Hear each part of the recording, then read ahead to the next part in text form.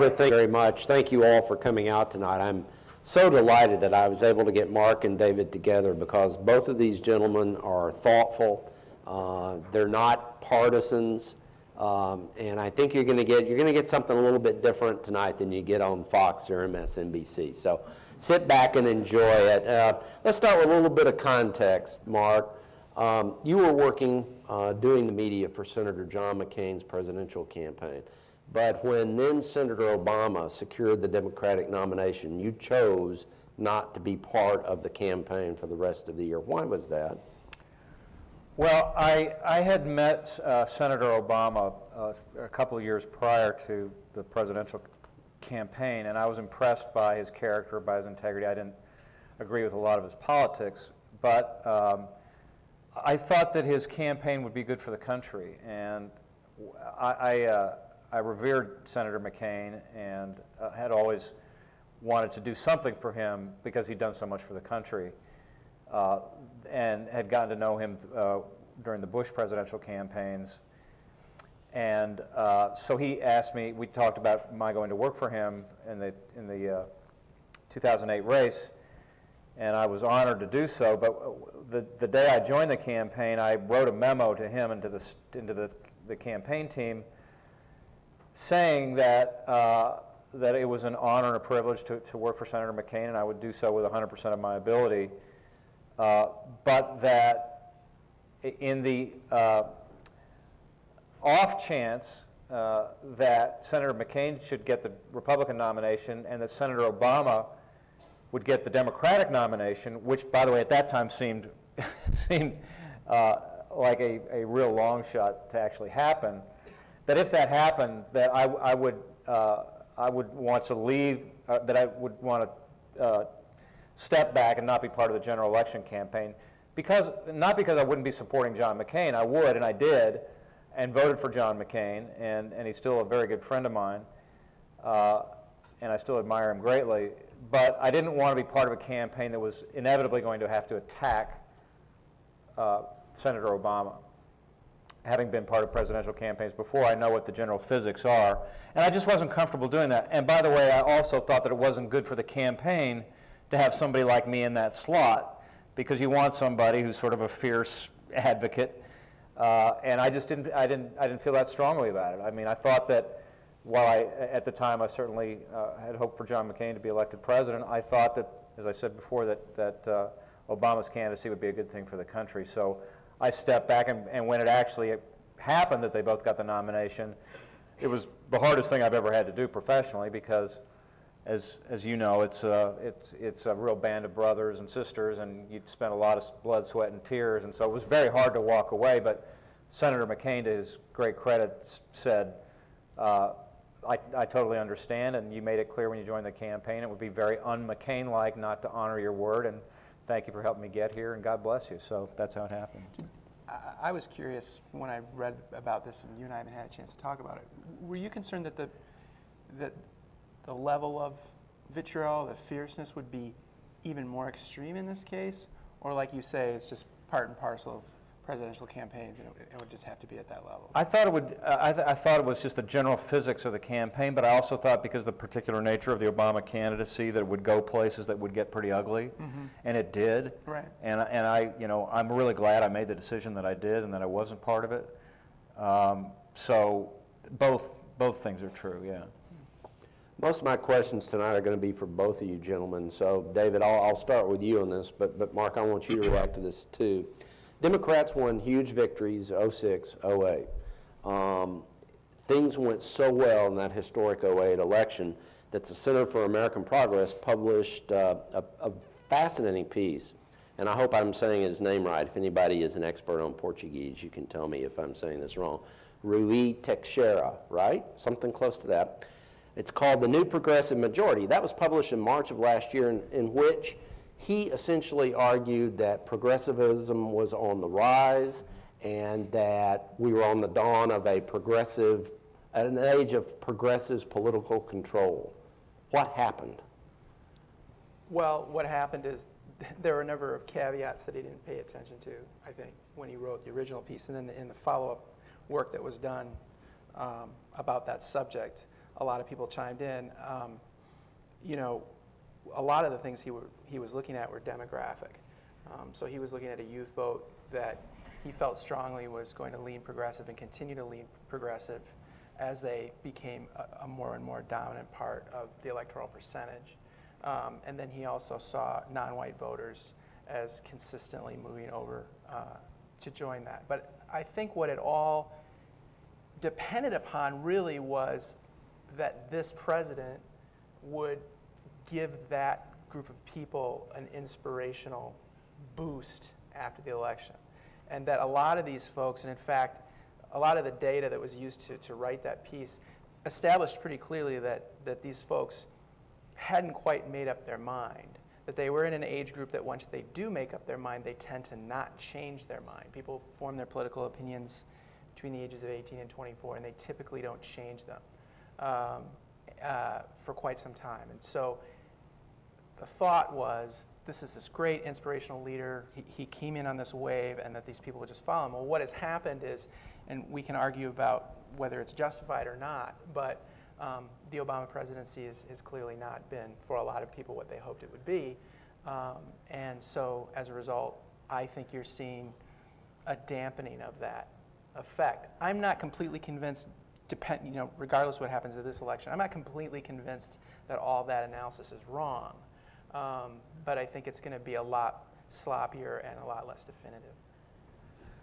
Well, it, I, I, recall uh, when Karl Rove was famously quoted after the 2000 election as talking about, you know, a couple of decades right. of Republican dominance that were likely to follow, uh, and we know what happened to that. And uh, I, similarly, uh, we, we, we've seen the same kind of predictions with the Obama presidency as he was elected.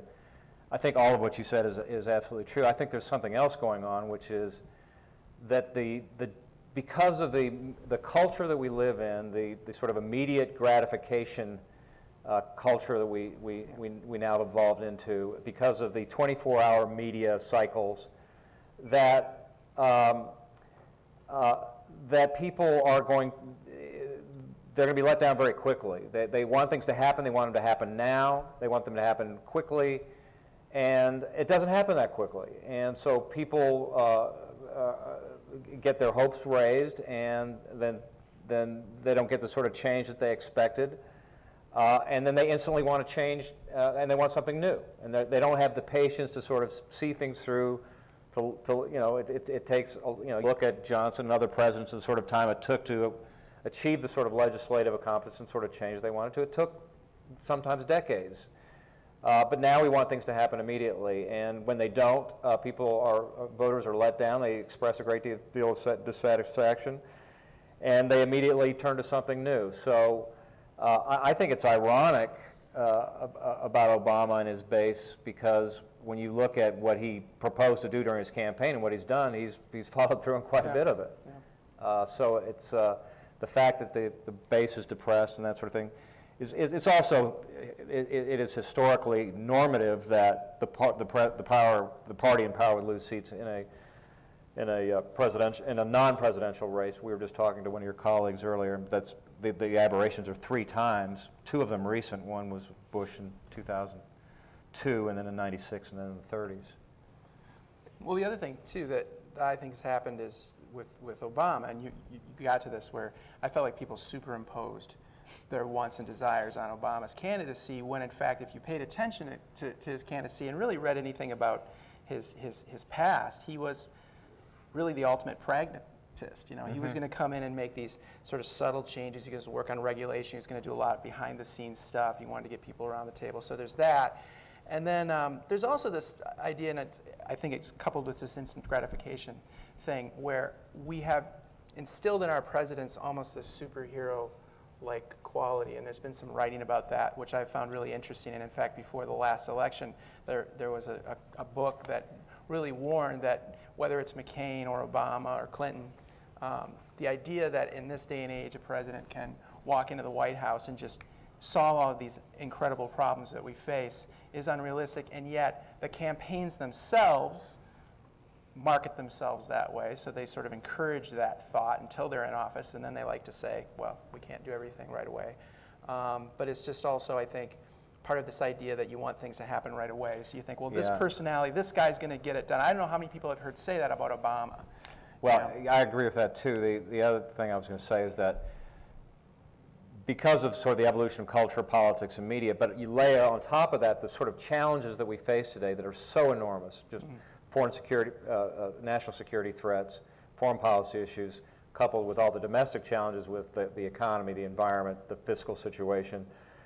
I, I don't think that we're ever going to see a president in our lifetimes that's going to be popular longer than about six months during their first honeymoon. That's going to be it, right? And uh, it, it is just a, a an, it's really an impossible job. Uh, and I think that I, I'm probably a demographic cell of one who happens to have great sympathy for both President Obama and President Bush, and, and also gets attacked by Keith Olbermann and Rush Limbaugh. So. Well, that's to your credit, Mark. I, I do want to follow up on that with both of you. Both of you have addressed reasons why progressives, the Democratic base, may not be totally pleased with the president, but he's also just hemorrhaged huge amounts of support among independents. What's caused that? Well, um, th- there's, there's, um, this is a time which is, uh, for a lot of reasons. I mean, first of all, economic distress creates enormous anxiety with all voters. And, um, but it- because voters have not been able to see the sort of change that they wanted to because they're economically distressed, they, the trust in government has completely broken down. Um, and the numbers are astonishing. Historical, we've never seen numbers like this ever. You know, like 80% of the people have just a zero lack of confidence or trust in the government anymore. Uh, and they think that the, gov- the government uh, is not accountable. They think it's corrupt. They think it's run by moneyed interests, and who can blame them? Uh, but for those reasons, people have also uh, defected from any kind of loyalty to the parties because they look at the parties in Washington, they see the hyperpartisanship, and, and I'm shocked by it because I go to Washington and I, and I, I as, as, as infrequently as possible, uh, because it's so poisonous, and you see the hyperpartisanship there. And, but if you if you live in Washington or just watch the cable news and, and the news, uh, political news from most of the sources you get, you'd think that the whole country was like that, that we were all red and all blue, we were all right wing or left wing, uh, that we were all hyperpartisan, that we, that we were unwilling to recognize each other's differences or work together in a bipartisan way. And then I leave there and I come to places like this, and I discover it's just the opposite, that 80% of the people are really in the broad middle somewhere. And, and they, they feel so frustrated that they don't feel like there's a voice representing them. They don't feel like they're a part of the Republican Party that they see or the Democratic Party that they see on television. And that therefore, they're disassociating with the parties and they're describing themselves as independents. So today in this country, more people self identify as independents than they do as Republicans or Democrats. And, and maybe what we'll save this for a, a question down the line, but I think that it's only conventional wisdom that we that a third party candidate hasn't won the mm-hmm. presidency, and I think it's highly possible, maybe even probable, that it could happen in 2012. I mean, I used to joke about independent voters because I just decided they were fickle, and you would watch the polls, and literally from day to day, you'd see these giant percentage drops, and then you hear these men and women on the street interviews, and there's somebody just they still can't decide, and it and I found it somewhat inexplicable. Although now, I I do think, uh, you know, and, and we we've been talking about this earlier, just this disaffection and frustration, I think people just don't want to align themselves with anyone um, because there's a recognition that both sides are maybe not. Uh, my phone's ringing. I apologize. Uh, You didn't listen to I- I Kristen, thought I did you, David? People saw me reach for it. Um, but no, I mean, I, I think people are just, they're, they're more convinced that, that nothing's getting done. Mm-hmm. So, a- and it's so polarized and it's so, every, every decision that's made is a political decision to solidify power. It's not about the best policy. It's not about the best idea. It's not about getting around a table and having a conversation. And when I come to places like this, I find that that's what people really want. They want a conversation. They want a debate. We all know we don't agree with one another. Uh, but I think we can agree that there are major issues that need to be tackled and that we live in a democracy that's constructed in such a way that we should be able to come up with at least some compromise. And uh, because people sense that that compromise doesn't exist, uh, I think they're just they're bailing from the system. And I, and I agree with you. I think that maybe more than ever in the last 20, 30 years, we might be in a position where we would see sort of an interesting third party or at least a third candidate emerge. Yeah. Well, it's, it's so bad that, that the, and so partisan that elected officials, if they demonstrate a willingness to work with the other party, they get branded as a heretic. And then they get put, they get, the, the, the, the right wing or left wing of the party puts up a candidate against them in the primary, and they get, they get funded and often lose their races. So, so people who are, are consensus builders or pragmatic, common sense, looking for common ground are being driven out of both parties. And as a consequence of that, good people are leaving politics, and it's not attracting good people in either. Uh, so it's, it, it, so, and the irony of all of this is that at a time when we have arguably some of the greatest challenges we've ever faced, we have a government that's absolutely paralyzed. And, and just to give you an example how this will play out in the very near future, first of all, things are so partisan that the Senate uh, refused to, to even study a fiscal, the, the looming fiscal crisis. They literally uh, punted and said, we're not going to study this. And so President Obama had to appoint a private commission to study it because the, the I mean, not only they couldn't make a decision, they couldn't agree to study it. So they got a private commission. Their findings are going to come out in December. And, I'm and it's made up of a lot of good people. And I'm certain that, that that commission will report out that we have to do two things. We have to raise more revenue and we have to cut spending. And then the next thing I assure you is going to happen is all the Republicans are going to say, we're not going to raise one single tax dime on the American people, and the Democrats will say, we're not going to cut a dime of spending. And there's going to be this impasse. And we, and we don't have anybody rewarding people in the middle for any sort of compromise, because if they do, they get, they, as I said before, they get punished by the right and the left, and there's, there's nothing in the middle, but, but there's some things I may talk about down the line about some things that are happening that I hope will change that. Or, or accused of, of stacking the deck or bias, because Yeah. you'll see that as well. If somebody actually comes with a legitimate compromise, the next step is to tear the compromise down. And unfortunately now, particularly for this administration, when this administration tries to do it, they get torn down on both sides. Yeah. You know, he's on the left, he's seen as someone who's selling out. On the right, he's someone who's seen as trying to mask something that's much more liberal than he's presenting it to be. And he's in a box. Well, can I just ask for a show of hands on a question? I'm just curious about this. Whether or not you voted for Obama or not, how many people see him as more see him as a centrist, and then I'm going to ask how many people see him as more left-leaning? How many people see Obama as a centrist Democrat, and how many people see him as a left-leaning? Interesting. Yeah. Well, I mean, I, I think that's part of being a good president too, is you, you get it from both sides. Yeah. you know, and Yeah. uh, if you're confusing people about what you are, maybe that's a good sign. What do both of you think about the Tea Party?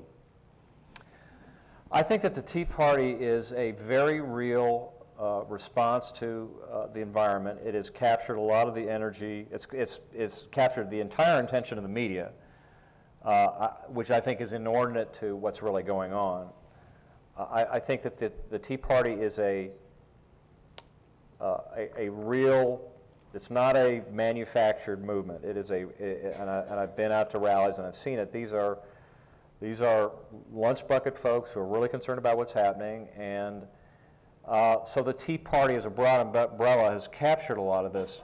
But I think it's a really small part of a bigger story. And, and the small part of the story that, that has attracted the media attention is that this, it's attracted the attention because they have had a big effect on the Republican primaries. And they, they've won some huge upsets. And uh, th- this is, a, these people are, uh, they're a much, first of all, they're a broader group demographically than, than I think conventionally is thought about. Uh, but they are, they're just against the establishment. I mean, they're just, again, they're part of, they've, they've lost trust. They don't believe in anything that's going on in Washington anymore. And so they just want to, they want wholesale change. And they don't care in what form it comes. And that's why you see the election of people like Christine O'Donnell, who just put out an ad yesterday saying that starts, I am not a witch. okay? Imagine a campaign where you have to come out and declare that you're not a witch. okay? That's when you know things have gone south on you a little bit.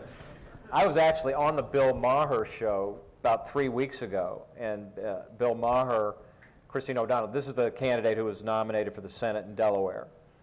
Uh, in a huge upset, she beat a guy named Mike Castle, who had been governor, congressman forever, and just revered in that state as a as a down the middle, centrist, pragmatic guy. Everybody loved him. But in this election, voters voted with their emotion instead of being very pragmatic because had they been pragmatic, uh, they would have voted for Castle because Castle would have would have very likely won the the uh, not just the nomination, but would have won the Senate seat, and therefore would have given the Republicans a majority in the Senate. But instead, they elected a woman named Christine O'Donnell. And on the Bill Maher show that I was on three weeks ago, which was his premiere show for the fall season, he related to the audience that he had had Christine O'Donnell on his show 22 times when he had an earlier program called Politically Incorrect. And he had all the old tapes from that program. And that night, he previewed one of the tapes in which she declared that she dabbled in witchcraft. and uh, and then he decided to hold her hostage and said that until she came on his show again, he was going to continue to release these tapes from those old programs, which he's continued to do. Um, but the bigger part, the, the, so the Tea Party has been a big shiny object for the media. It, it, it has, uh, and it is, it, it is going to have an impact on the Republican. It has had a, already had a big impact on the Republican Party in the direction that it's going, and will continue to do that. But I think the bigger story is this whole issue of independence, because I think that the Tea Party is just a, a, a minor piece of the puzzle, the primary puzzle. In the general election, I think that there are uh, not just millions, but I think there are a majority of Americans out there who, are, who want an alternative that's not the Tea Party. And I think there's actually a lot of the people in the Tea Party that don't really completely subscribe to the Tea Party, but it just happens to be the sort of the only movement out there right now. But I think, again, I think that there, there are some things going on right now some, uh, that, that, that are going to make a third-party bid very, not just possible, but probable in 2012. The, the mechanics of ballot access and that sort of thing, people are working behind the scenes to make sure that that is not a, uh, not a hurdle to a third-party candidacy, and, and there are already people talking about running. So I think the real story is that is going to be the rise of independence and a, a real hunger for a rejection of the hyperpartisanship that in some way the, the Tea Party reflects. So the right. Tea Party is the first part of the story, but I think it's just the first part, and it's going to be a much bigger story about independence. I mean, I, I feel like the Tea Party is sort of a repository for about 10 or 11 different points yeah. of view and, and flash points of anger. And so I, and the media loves it because it's loud and it's angry and it's the closest thing we have to populist rage yeah. um, in a long time. But um, I'm sort of reticent to call it a movement. Um, I think it's a phenomenon. Uh, and out of that phenomenon, so essentially you're agreeing, but I think out of that phenomenon could grow some, some sort of movement. Um, but I think it's just, there's a couple things going on. There's a, there's a, there's a wing of the Tea Partiers that I see as very economically conservative and sort of socially libertarian, and then you have a, almost a religious right element. Um, and then you have this blue collar element. So there's all these different people at play. Mm-hmm. Um, and somebody's, I think, and then of course, underneath all that, there are ties to the Republican Party. I mean, there are worries among Republicans and among certain Democrats that this is just another, you know, another wing of the Republican Party. What does that mean down the line when you're trying to attract independents if that storyline gets any legs? So um, I think it's really fascinating for this election. Um, I actually don't know that we'll be uttering that phrase in four to six years. Maybe we will, but I think it's going to turn into something. What, uh, and Mark, I know you, you published a piece in the last day or two on this, but what, what do you guys think is the most likely outcome of the midterms? Well, the data seems to suggest that the Republicans are as worried as they can be or as excited as the Democrats get about certain polls, the Republicans will take, take a majority of the House. They won't in the Senate, and it looks like gubernatorially, they're going to see some big gains nationally. Um, I'm of the opinion, actually, that uh, it would be good for the country and good for the president uh, for the Republicans to win the House.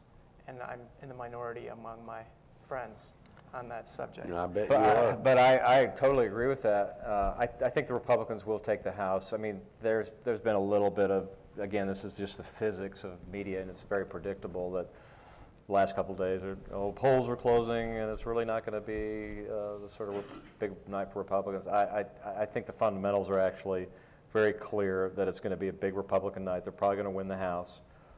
Uh, I think, uh, probably not the Senate, but I think it's it's, I think it's the best thing politically that could happen for President Obama in terms of his reelection.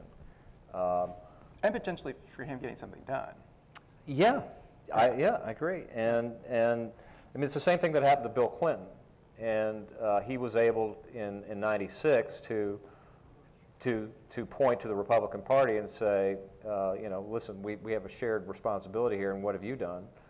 And so if, if there's a Republican House, Republicans will have to step up and put forward their plans. And so uh, by the time the election rolls around, President Obama will be able to, whatever has been done or hasn't been done, there's going to be, it's not going to be totally his responsibility. The Republicans will bear some of the responsibility for whatever has or hasn't happened. Well, and he has a foil, and the foil's not his own party, which I really felt like during the healthcare debate, you know, some of the most aggressive debating at the end of the day, or at least the stuff that got into the mainstream media, came from Democrats, Yeah. centrist Democrats who weren't willing to go certain places with the president. So, and that same thing happened. Speaking of Clinton, you know, he had the same issues too, uh, early in his first term, where, you know, the Democrats weren't exactly on his bandwagon. And, Did- and is- so I, I think just having having, having the other side having to take responsibility a little bit more than they're having to right now uh, could benefit. And voters generally like the idea of divided government. They're, they're just more comfortable with it generally. But to the point David was making earlier, the other, the really big story here really is not so much what happens at the federal level, but on the state level, there's huge gains for Republicans in the governorships and the state houses. And because uh, every 10 years, uh, the outcome of these elections relates to the census and to redistricting, so it's a very significant thing that's going to happen. So what we see happen in November will have long-term qu- consequences, particularly in the states where the Republicans have really, are are going to be amassing a lot of legislative power in the states, which will then have consequences for the federal elections. Both of you, um, I believe, on, on the basis of what you just said, you both feel that a Republican, that Republican control of the House is good for the president's reelection. Um, do you think he's going to reinvent himself like Clinton? Or is he going to create just, continue this kind of huge standoff? I, I think, and there's been some signs that, um, you know, having checked off some of the, the, the, the significant things that, that were important to his base on health care, uh, fiscal reform, um, and, and a number of other uh, uh, component, uh, elements of his uh, campaign, I think he's really going to tack to the middle. And, and I think he's, uh, he's already given signals that he's going to really look at fiscal issues and trying to deal with the deficit, um, in, very much in Clinton mode. Uh, and so I think it's going to be not big sort of, you know, social programs that he's going to be looking at, uh, or, uh, but I think it's going to be very targeted fiscal responsibility and accountability. I think there's going to be a whole basket of that stuff, and I suspect that in his State of the Union, that's going to be the real focus. That's my guess. I think that's probably true, and I also think he can get away with doing that with his base, because again, when you have a foil, you know, the Republican House is going to be aggressive on certain issues, and and I think that in 2012 that could energize the base. You know, I, I don't think that Democrats aren't necessarily. I think they're on par with, with where they usually are in terms of getting out the vote for a midterm election. I don't think the enthusiasm's down. I actually think Republican enthusiasm's higher. So I think that's absolutely So I think yeah. that's what's what's going on there. So I think he will become much more of sort of a almost like a you know a governor of sorts, where he, he he's going to be tr- try to be even more pragmatic. And I and I think one of the things he did successfully, I thought during the healthcare debate, uh, people can disagree, but I thought one of his most successful strategies was calling the Republican leadership together and saying, okay, what would you guys do? I want to know what you guys would do because we got to do something. And I think he could probably pull that off more frequently and more legitimately, especially if they control a house. Okay. Let me ask you guys a, a- kind of a series of questions and just get a brief comment from both of you about the 2012 election. You know, who's likely to be the Republican nominee or who should they nominate? Um, uh, What is, it will, uh, will uh, Secretary of State Clinton be on the ticket in place of Vice President Biden, which is Bob Woodward's big story today? And third, you mentioned something, Mark, I find fascinating. Is there going to be a third-party candidate, and who would that be? Or who could that be? Give us examples. Sure. So just address all three of those briefly. for me. Okay, I'll try to be brief. Um, I think it's going to be a fascinating election, and that the great thing about American politics is that conventional wisdom so often gets thrown out the window, and, and we get surprised. So I think there's going to be a lot of surprises. One of the things, I mean, there, there's a, the, the field is, is, a, is as many as 10 or more at this point in the Republican uh, primary of people who are really looking at it. You have the establishment candidates like Mitt Romney. Um, you've got um, uh, a lot of the people that ran last time. You've got some new people looking at it, like Senator John Thune from South Dakota, uh, Mitch Daniels, uh, Haley Barbour, governor of, of Mississippi, uh, a number of others, um, Tim Pawlenty from Minnesota. Um, but uh, I, I think it is increasingly uh, possible, and not just possible, even probable at this point, that Sarah Palin is going to run for president. And she cracked the door open in a speech in Iowa a couple of weeks ago. And, and once you crack that door open, I've been around this uh, before and I've seen it happen. It, once that door's open, it's almost impossible to shut uh, for a lot of reasons that I could go into. But, um, and then when you look at what happened in, De- in Delaware in some of these recent elections and what she did with her endorsements, she had a very successful endorsement strategy. She, she's increased her leverage, increased her power in the Republican Party. She continues to be an absolute crack for the media. Uh, they, they, they can't get enough and they can't stop. Um, uh, but when you see what happened with the, with the sort of Tea Party voters and what's happening in the Republican primaries, those are Sarah Palin voters. The people that elected Christine O'Donnell are Sarah Palin voters. So if, if you, if you, uh, if we presume that that, that, that that appetite is still going to be there in, in a year or two down the line, which I think it will be, uh, and that these people are still activated, uh, it's very easy to see how, you, you- look at this picture.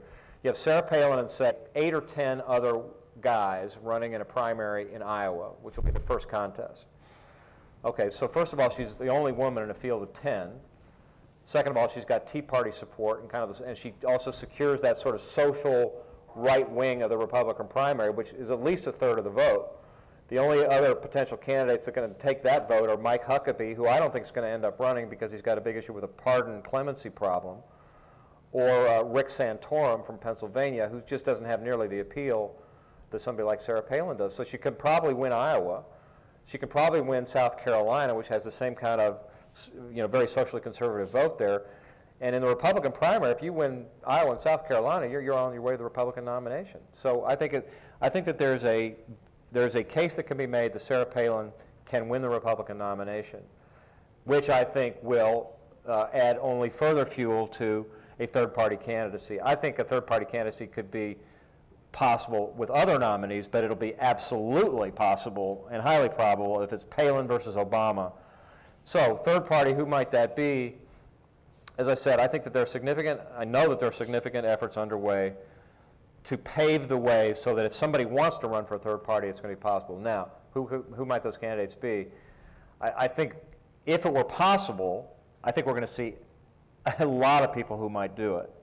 Um, but the, the, the main people who are being talked about right now are Mike Bloomberg, the mayor of New York, Donald Trump, uh, also is talking about it. Um, uh, but that reaction might be telling. yeah, it's, it's, it's very telling. But um, Probably could cut the federal workforce pretty good, though, couldn't it? yeah, for sure. Lots of experience with that. But, the, but people talk about uh, uh, General Petraeus uh, as being on a ticket with one of those, you know, it could be a ticket of, of some combination of Petraeus and Bloomberg or, but, but, but Evan, Evan Bayh is a guy who's, who's leaving the Senate because he's sort of fed up with the partisan politics, but he's the sort of person who might look at something like that as well or being part of a ticket with somebody. So those are a few of the people that are being talked about, but, but I think as this becomes a reality, and it's going to become a reality, uh, I think we'll see all sorts of people express an interest in it.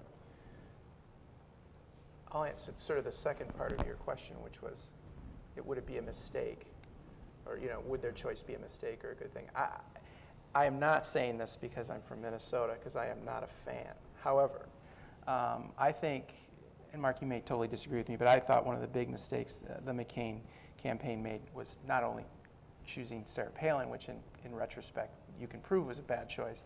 Um, I think they would have been smart to go with Tim Pawlenty, who is who stepping down as the governor of of Minnesota, I think he would have made McCain potentially, uh, I think he potentially could have, especially given what happened with the economy in the wake of that decision, given him a real shot because he is uh, the sort of Republican, in my opinion, that has a similar appeal to a George Bush. Um, he can communicate with, with, he's seen as a sort of person that can communicate with the common man. Um, he has some fairly conservative views that might not be all that palatable for um, independents, especially moderate independents, and yet he'll be able to sell them. He can sell them in such a way that they don't seem that way. His, his election in Minnesota the first time around proved that. And I actually think he'd be a tough presidential candidate. I don't think he has a shot to get the nomination. But I would be more scared of him as a Democrat than I would be of Palin. Um, so I think they would be wise to do something like that. As for Biden and Clinton, uh, I don't believe that the, I don't believe that Biden will be replaced simply because, and, and this is more based on anecdotal evidence on my part, but I just think Biden helped Obama a lot uh, in the latter stages of that campaign with older male independent voters. Um, and th- they're going to be few and far between in the first place. So I, I don't think you'd want to uh, sacrifice that. And I just think she's too much of a lightning rod, even though she's served now as secretary. I just, she, she's too much, it's, it's just red meat. I wouldn't do it. What do we have to do to change politics as usual? And the president said he was going to do it, but he hasn't been successful. You know, one of the interesting things about that, uh, that I, uh, some, some columnist ought to, maybe you might take a look at this, uh, David, uh, is, would be to, to go and look at the speeches of uh, the early presidential speeches of Barack Obama and George Bush. They were actually very similar, particularly in, in the, with this notion about changing the culture of Washington and changing the tone in Washington. And it's been fascinating to me to watch them both go in with absolutely genuine intent to do that and absolutely hitting a wall. Uh, some of the circumstances are different, but, uh, but, but, the, but the outcome has been the same. Um, and uh, I could go on for a long time about the reasons why it's like that, but there's no question that, that, that it is that kind of an environment that it's so difficult to try and govern in any kind of a bipartisan fashion.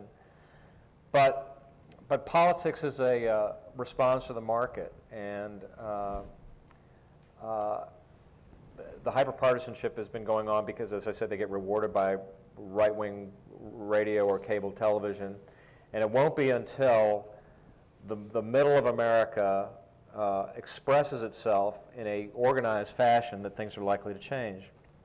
Now, uh, I'm seeing a, lo a lot of evidence that there were a lot of people who sort of consider themselves in the middle who, uh, until now, were just apathetic. They just said, well, I just, you know, I just don't care. Uh, you know, I feel disenfranchised, but I really don't care about it. Now they care because things are, the issues are too big, it's too important. Now people are engaged and they're saying, you know, uh, I really want to find a way where I can have an impact and, and somehow have my voice reflected. So there are, there are lots of things going on, but let me just name one. There's, and I, I have to confess that this is something that I'm involved in, but uh, there's an effort called No Labels, uh, which is going to launch in December uh, December 13th in New York, and it's going to have a thousand people from across the country. And I've been going around the country talking to people about this idea, which is which is simply uh, giving voice in some way to the millions of Americans who just feel completely disenfranchised by the parties or by the hyperpartisanship on the right or the left.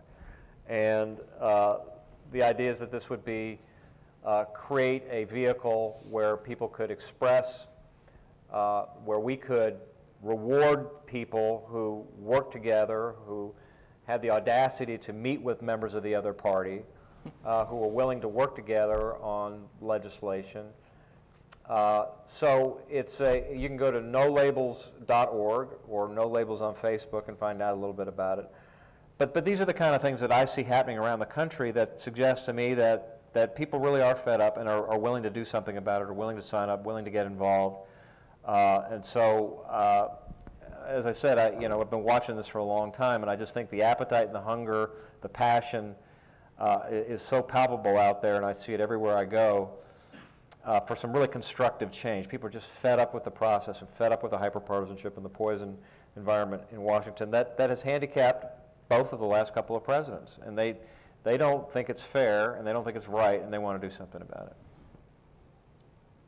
And I agree with that, and I, I tend to be at the risk of sounding Pollyanna or, or, uh, or sort of repeating uh, cliches. I think it is a grassroots sort of thing that needs to take place, and I think it needs to take place in our schools. We have to teach each other, once again, how to have conversations, how to have true debate, um, how to challenge one another, uh, not what we believe, but on ideas themselves and whether or not they're valuable, um, and how to proceed. We have to learn to meet with the neighbors that we disagree with. We have to go to school board meetings and city council meetings, and we have to go to churches where not everybody believes the exact same thing, especially politically. We have to start to reform um, a, base of community that, that, that is more diverse and not so exclusionary.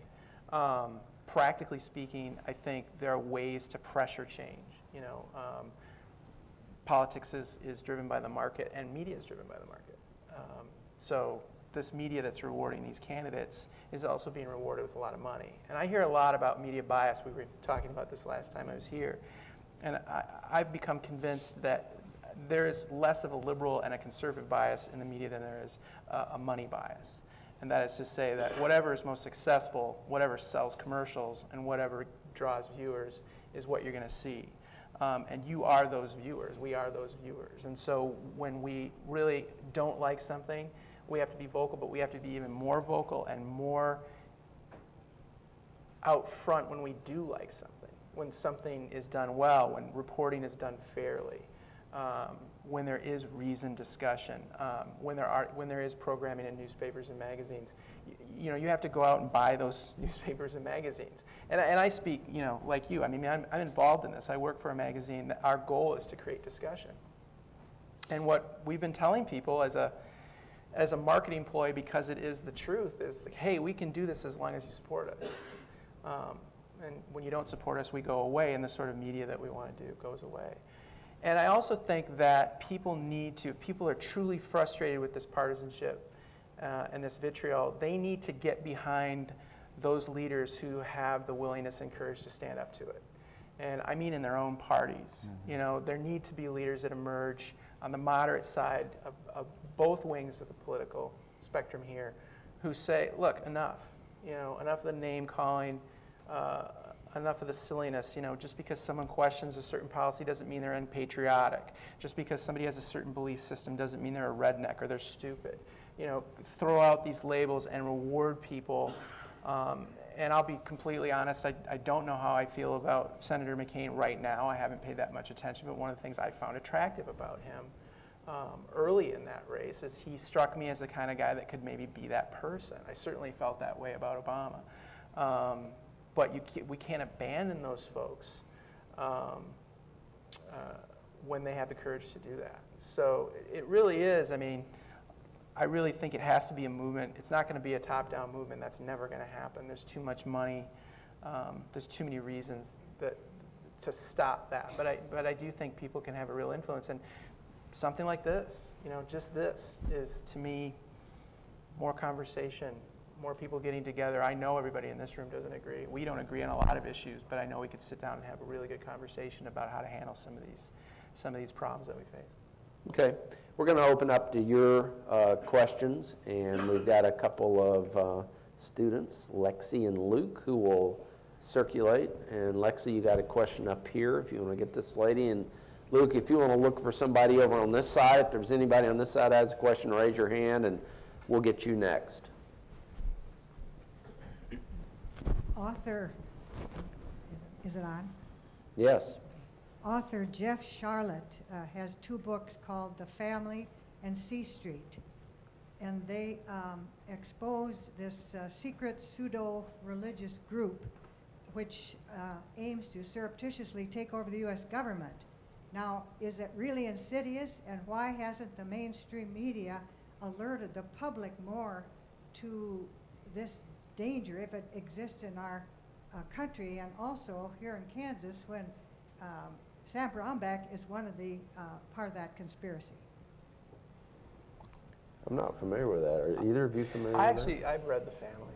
Uh, I found it a fascinating book. I, I thought it was, uh, it was written for dramatic effect, but I also thought it was well reported. Uh, went back deep into history and sort of established some ties. Um, you know, the, the book did get some coverage, uh, and this, the whole C Street thing has gotten coverage in part because of Mark Sanford's involvement. Um, and so there has been writing about it. I thought it was interesting, and I don't know what to make of this. I've been meaning to track it down. Um, the New Yorker just did a piece about this, and it wasn't Sharlet who wrote it.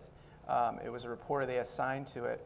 And it was sort of an interesting piece in the sense that it really didn't get into a lot of this, this idea that it was a conspiracy theory. It really, it was more just seen as sort of a kind of a regular political group. Um, but yeah, I mean, if it's the kind of thing for me when I read the book, it got me thinking, and I thought there were some really interesting connections. Um, I wasn't utterly convinced when I finished it that there's a full-blown conspiracy at work, but there's clearly there's clearly an influence that this group has on leadership. Um, you know, they're the people behind the National Prayer Breakfast uh, each year. Uh, they bring in world leaders, and they have a definite dogma about how leaders are supposed to interact with the world. Now, what I will finally say is that Sharlet approaches this as his premise is that their intentions in and of themselves are evil.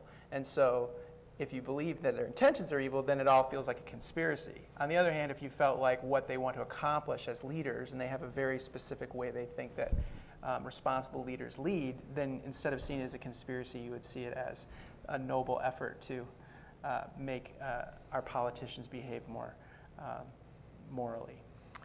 Yeah, and, and the National Prayer Breakfast is a wonderful event. Um, but I, I, I, there, there has been, and I, I, don't, I don't remember the sources, but there has been some additional reporting from legitimate mainstream media on, on, the, uh, on the organization.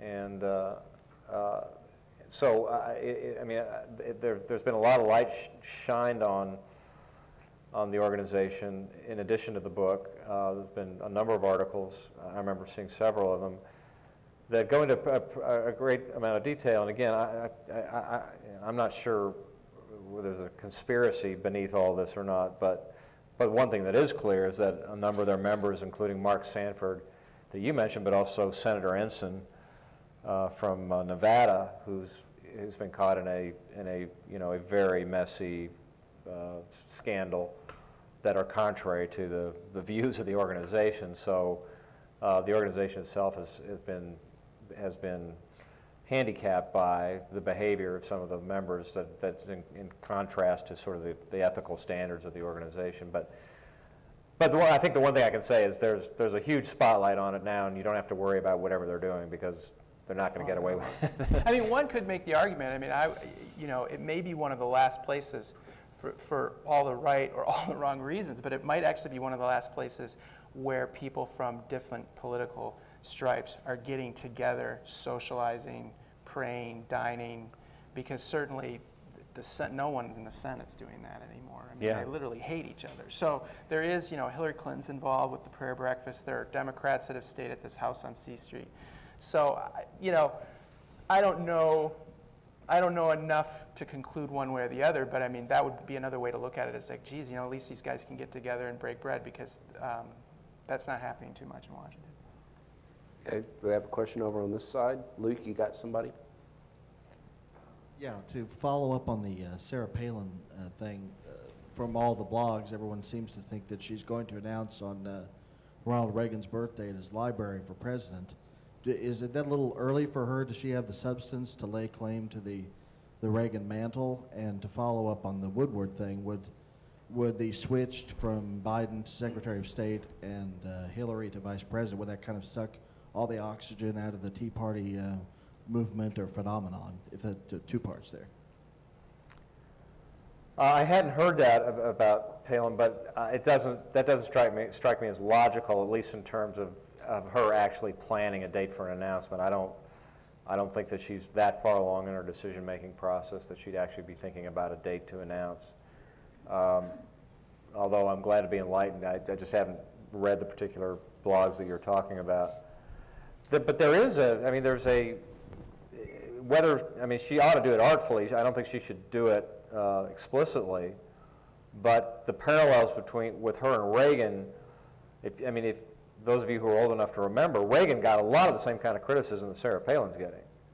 And it wasn't taken seriously. He was, you know, he was branded an actor, not a serious player, not a substantive guy.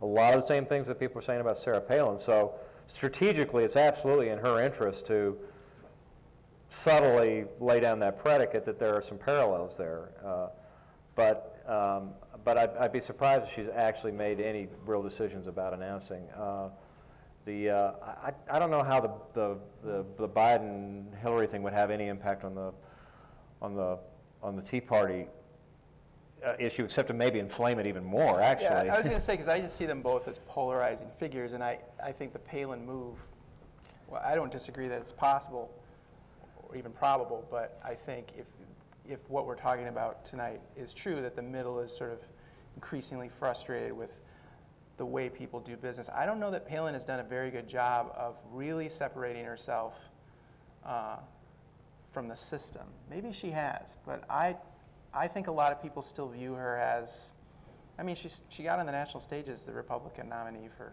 vice president. So she is an institutional political face. And uh, I just think that she'll, if there is in fact, a, as Friedman likes to say, a radical middle that's ready for something new, I'm not sure she's the person any more than I think Hillary Clinton helps you get those folks uh, attracted to your ticket. Yeah, I mean, uh, politically, it wouldn't make much sense for Obama to do that because even though she is in actuality more centrist probably than Obama is, she is such a polarizing figure that I think that it would actually really stir up the Tea Party and certainly the conservatives. Uh, But the only thing that gives that some legitimacy is that it's, it's widely known that, that Biden always wanted to be Secretary of State.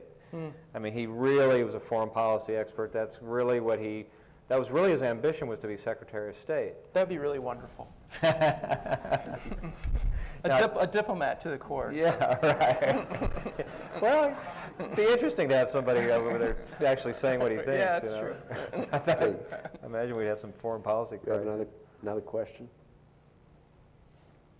Uh, Recently, the, uh, I believe it was the news director for CNN was fired and replaced, and I was, rem- I- I found remarkable, and I was going to ask you both if the numbers were correct, and then have a follow-up question on that, that the viewership for CNN had fallen into the upper hundreds of thousands, around six or seven hundred thousand, but noted that Fox was about two and a half million and MSNBC somewhere in between.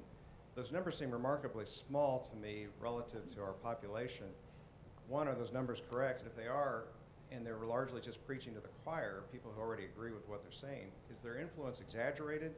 And it's just somebody that people who are in the game watch, and so they get fired up about it? That, that is a great question, and you're absolutely right. And I find it astonishing because I look at these, these, these uh, ratings, which uh, are published, you know, you can, you can find them anytime you want. But you're right. I mean, uh, you know, a great night for cable television for, for Fox or CNN. O'Reilly, um, who's like the number one political show on cable television on Fox, I think a, a really big night is maybe a million and a half or something like that. Um, you know, Keith Olbermann's like 800,000 or something, and then you're right, CNN's down at like 200,000. But those are minuscule numbers compared to the population. You're absolutely right. It's a, and yet, think of the, the, the dominant influence that it has in the political dialogue. And I mean, if, if, if you didn't say those numbers, and we, we just, and I, and I didn't know them, and you just asked me to guess what they were, I think that they were, you know, larger than broadcast television. They were at least 20, 30 million people watching this stuff, but it's not. And uh, it's, it's, it's, it's, a, it's a really great question because it is a inordinate amount of influence for a tiny sliver segmented audience that has a huge impact on the, uh, on the environment. You're absolutely right. And the, and the segmented audience, because it is segmented, it's hard targeted, it's a valuable audience. And so as a result, more, more and more quote unquote mainstream organizations who are in the business of news or infotainment or whatever you want to call it are copying that style because it means dollars. If you, you know, the more targeted your demographic, the more valuable the demographic is. And so the genius of Fox is they know exactly who's watching it, and that's who they cater to. Same with MSNBC, programming on MSNBC, they know exactly who they're getting. And I think you're seeing more and more energy and resources spent instead of on gathering news, uh, you know, and populating foreign bureaus or what have you, more and more energy and time is going into what decisions can we make? Who, who's going to replace Larry King so that we can make sure that we can find a demo that's attractive to our advertisers? Uh, and then we can make money. And so their influence is not only political, and I, I think I do agree. I mean, I argue with my friends who, I have one friend who watches Fox too much. He's obsessed. And I just have to tell him to settle down. Uh, it's going to be okay. There's not that many people watching it, but it is true that their influence goes beyond simple politics. I mean, I think they have a deep cultural influence. They've, they've, I mean, without Fox, you wouldn't have MSNBC. So MSNBC, as it stands now, is spawned from Fox. Yeah. It's, it responds. Whatever happened to Lou Dobbs? Uh, Lou Dobbs. Since we're talking about Sanchez. That'd be a good T-shirt. Whatever happened to Lou Dobbs? I'm, I'm going to ask, where's Lou? Yeah, if you have a question, please raise your hand. Please wait for the microphone. Uh, yeah, I'll answer that. Uh, I, well, he, he s- sort of got fired from CNN. Uh, as you, re- I mean, he was a, a, a very straight business correspondent and, uh, uh, and had a business show. And then he increasingly got political, and then increasingly got sort of shrill, particularly on immigration, and became this sort of wild populist that uh, that just sort of went off the reservation and uh, got very unpredictable, particularly for CNN's. You know, he would have been more appropriate on MSNBC ultimately. But it's sort of surprising to watch his evolution because, you know, he was sort of a straight down the middle business guy and then just got. So uh, I think the answer is that he got sort of out of the CNN box of comfort for the network and they let him go. But, but it is, it's interesting that he hasn't resurfaced somewhere. I feel like a lot of the, in, in just watching a lot oh, has of, he? Oh, is he? Really? As an actor? is mm. he a criminal or a? Was he a sheriff? oh, okay. Fascinating. We have a question on this side. Somebody want to get this gentleman? One of you guys needs to stay on the right, one on the left. I don't want the people on the left accusing me of favoring the people on the right. Uh, Thanks to uh, both of you for coming.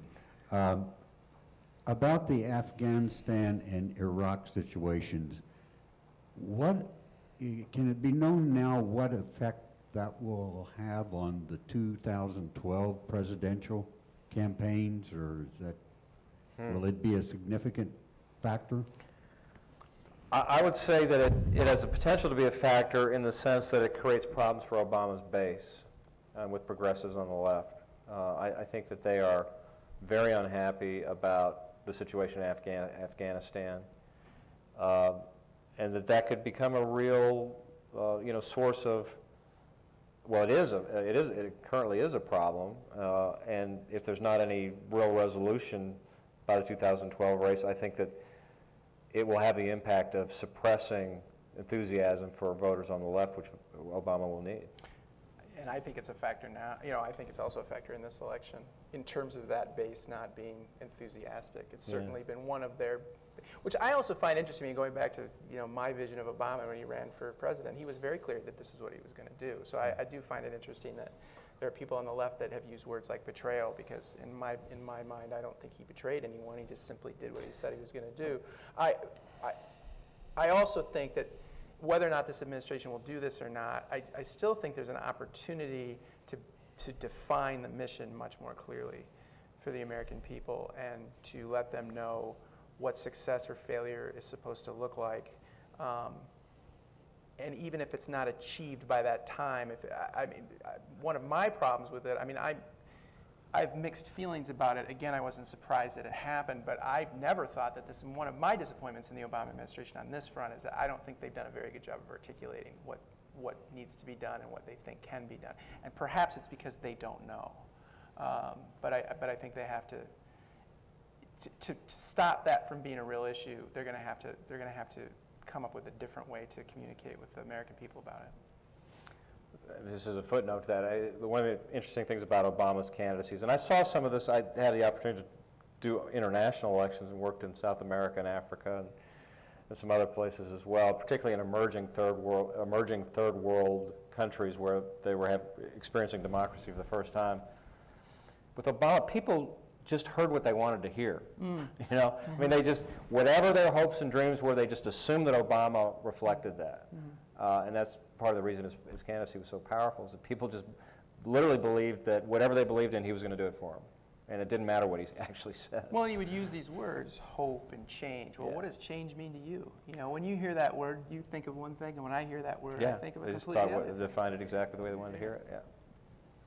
Kay, right here, Luke. So we're one month, can you hear me? Yeah, we got you. Okay, we're one month out from the election. And my question is, what role will campaign finances play in the outcome? And I've just recently heard that there are foreign monies being solicited into the campaign coffers. Do you know anything about that? Uh, I, I'm not, sh- I'm not, I- I'm, we talked a little bit about this earlier. I'm not sure about the foreign money piece because as, far as I know, the, the current election laws don't allow for actual direct foreign donors. But um, I, I think it's a travesty, and I think this is part of the problem. This is why people are so frustrated with the process. Is they, there was a recent Supreme Court decision uh, uh, called Citizens United, in which the, the, the courts basically came down, this is the way I just define, describe it. It- Basically, what the court said was the corporations don't have enough influence and don't have enough money in the political process, and therefore, or, and, and don't have enough voice. Um, and so, and basically said that corporations have now the opportunity to have unlimited voice and impact and influence and money in the process. And we're beginning to just now see the stories reported about the impact of that decision on the money in politics, some of which we see, some of which we don't, some of which we'll never know the donors for. Um, and it's swamping the political process. One example, just one example of many, but we, but we have a situation in which, in which shadowed interests, and it's on both sides, there has to be more from the Republicans right now, but there was more from the Democrats in the last election, uh, are able to spend unlimited amount of money. Take the Colorado Senate race, for example. The Republican candidate in that race since the primary has spent a million two. The Democratic candidate spent about $2 million. Other interests have spent 6 million. So they're spending two, three times as much as the actual campaigns themselves. And we don't know now and, and, and won't know ever who some of these people are. And it's outrageous. Uh, I mean, it has taken our political process hostage when, when outside interests are outspending the actual campaigns themselves by a factor of three, four, five to one. And it does, and it masks allegiances. You know, going back to your question about this book, The Family. Um, the thing that I find fascinating about that book isn't necessarily whether or not there's a conspiracy theory at play or how much power or power they don't have as, as sort of this organized thing. But what's interesting is the allegiances, the unusual allegiances you see in this organization that, that they, they're able to coalesce around a certain topic. Same thing here. I mean, if we, people's allegiances before they get elected and after they get elected are, I believe, are directly affected by who gives them large sums of money. There's no question. So if you don't know who those people are, and it's becoming increasingly difficult to find that out, even for trained professionals, reporters who are out there trying to do it. It's very hard to find out who these folks are. Um, I think it's a disservice to the American voter uh, to hide those influences because really, you, when you elect someone, you're not only electing them, you're electing all the people that, that are behind them. And If I could just tell one anecdote about that, and it- it's, it's, it- with every administration, by the way, you see this, the biggest bundlers of money become what? Ambassadors. You know, look at all the ambassadors, they are either down the line, the people who gave the most money to the campaigns. I worked in it for a governor of Texas years ago, and the campaign manager for that race became the appointments secretary, the patronage chief. Uh, Now, in Texas today, as it was 30 years ago, there are no limits to how much money you can give a candidate for governor. You can give $10 million if you want to. So that appointments person was meeting with his counterpart from Wisconsin. And in Wisconsin, they have very strict campaign finance laws that to me make a lot of sense. And the guy from Wisconsin was informing his counterpart from Texas about the laws. And he explained that in Wisconsin, you can only give $500 to a candidate for, for governor. Which just shocked the guy from Texas. And he sat there and he thought for a minute and he said, $500? That's the maximum you can give to a candidate for governor? The Guy from Wisconsin said, yes. The guy from Texas thought again for a second and looked at him and dead serious said, well, so how do you know who to appoint?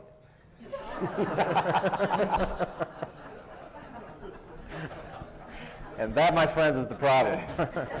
Well, and, and in terms of, of, of doing something about that problem too, we were, we were talking about this earlier too. It cuts both ways, and sometimes it, it, it when you have the, you know, the Supreme Court's decision conspiring against you, it's difficult sometimes to force the politicians to be held accountable on this, or to, to, to, to but, but the corporations that give the money, they need to be exposed for giving money to certain candidates who support certain things and defend that in the public sphere. So, for instance, we were talking about this, you know, Target Corporation uh, gave money to a, a, a- foundation in Minneapolis that then gave money to a very conservative uh, Republican candidate who was against um, same-sex uh, marriage and same-sex rights in the state. And when people found out in Minneapolis, which is a fairly progressive city, and Mi- Minnesota, which is unusually progressive usually, that this company that is that has their home base there was giving money to this conservative candidate who had these beliefs, suddenly, uh, you know,